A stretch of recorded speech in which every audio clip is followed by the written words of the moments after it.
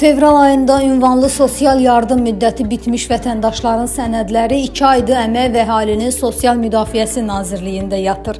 Bu barədə ünvanlı sosial yardımla dolanan artıq 2 aydır bu imkandan məhrum olan Neftçala sakinləri bizim xəbər az saytına bildiriblər. Onlar deyiblər ki, vəziyyətin daha ağır olduğu rayonlardan biri də Neftçaladır. Ağır sosial şəraitdə yaşayan sakinlər sonuncu ünvanlı yardımı fevral ayında alıblar. Elə həmin ay sənədlərini yenidən rayon şöbəsinə təqdim təqdim ediblər, amma bu günə kimi heç bir cavab ala bilmirlər.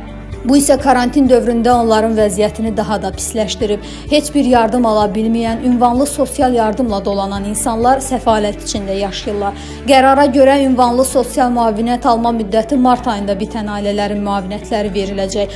Amma fevralda bitənlərin aqibəti nə olacaq sualı 2 aydır açıqdır. Həmçinin bu kimi ailələrə heç bir qida yardımı da edilmir. Sonuncu yardım Novruz bayramında edilib ki, bu zaman çox az sayda ailə nəzərdə tutulub. Yardımlar yalnız yaşlı və tək yaşayan şəxslərə edilir. Yəqin ki, Əmək və Əhalinin Sosial Müdafiəsi Nazirliyinin Sosial Təminat Siyasəti şöbəsinin müdiri Babək Hüseynov bu problemin qısa zamanda aradan qaldırılmasına, ailələrin karantin günlərində yardımla təminatına gec də olsa aydınlıq gətirər. Məlumat üçün bildirək ki, koronavirus pandemiyası ilə bağlı yaranmış bu çətin vəziyyətdə ilk yardımlar işsiz və ünvanlı sosial yardım alan ailələrə edilir. Bu barədə ölkə başçısı İlham Əliyevin ciddi tapşırığı və sərəncamı var. Amma Neftçala rayonunda vəziyyət fərqlidir. Yardımı kəsilən ailələrin sənədlərinə belə baxan yoxdur. Röya İsrafilova, Yeni Kanal